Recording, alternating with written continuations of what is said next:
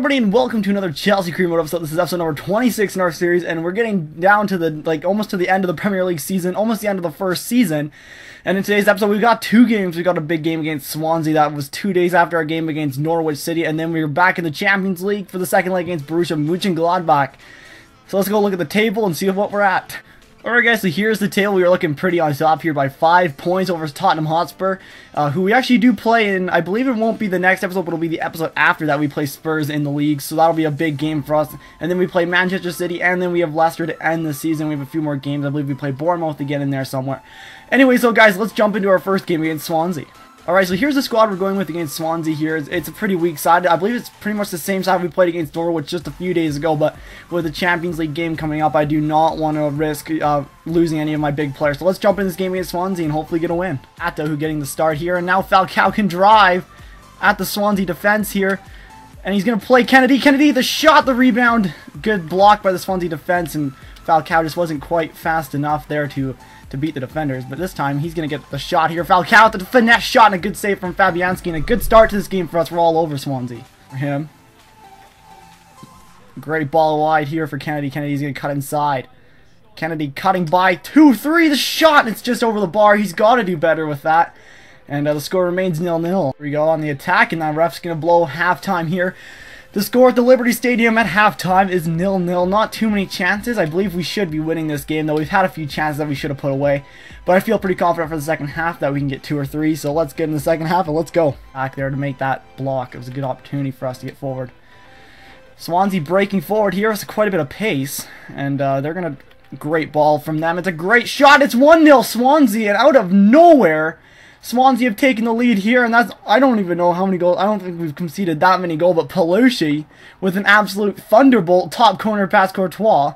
I'd like to see the replay, because I was quite a bit of ways out here. I don't know how he actually managed to put that one top corner, but a great play from Swansea, and a first-time hit. I think Courtois should be doing a little bit better with that, to be completely honest. It was right almost down the middle of the goal, but he put a really interesting curve on it, but I don't think that should be going by Courtois. And uh, it's 1-0 Swansea, so now we got to get back in this game. And is currently jeopardy here. Uh, so here we go. Bertrand Traore, he's going to cut in first time here. He's going to cut down. Bertrand Traore cleaned out in the penalty area, and that's an instant reply. Hopefully we can get the goal, though, from it. From Bertrand Traore, he did really well. Falcao, he's not scored a penalty for a little while. He's going to take the penalty, and Fabianski has somehow saved that. Oh, Falcao cannot score for me in this series. He has not scored. He's had two or maybe even three penalties. And that was our chance to at least make sure we were back in this game, and we've thrown it away here. And now it's going to be game on. Loftus Cheek's to be able to turn the shot from Loftus Cheek, and a great save again from Fabianski, who's on steroids. Really honest. Uh, I mean, Swansea are a pretty good side. So let's see if we can get this ball. Kenedy driving by one, two, plays the ball dangerously across. No one is there. What a great ball from Kenedy, though. Kenedy's got the ball, though, in a dangerous area. And he's going to try and cut by here. Cut by two. The shot from Kenedy. The goal from Kenedy. And it's 1-1 Chelsea. That is what I'm talking about, guys. 1-1 Chelsea. And Swansea, that is a huge goal. And Kenedy, our hero here, he's come out of nowhere with a great bit of skill from a pretty scrappy defensive play from Swansea. And it is 1-1 Chelsea. That is what I'm talking about. Great little running here in behind. I like that. I like that a lot, because now Pato can cut inside dangerously. The sh talked about that. Now Loftus-Cheek has been outdone here by Gomes. Or not really by Gomes, more by the ball, but he's going to get the ball in. Paloschi. Dangerous from Paloschi. It's 2-1 Swansea. Oh, Paloschi. Everything he touches turns to gold. And it's Leroy Fer, the former QPR player, makes it 2-1 Swansea. And all of the sudden, our undefeated season is at jeopardy again. Oh, they're going to just take it.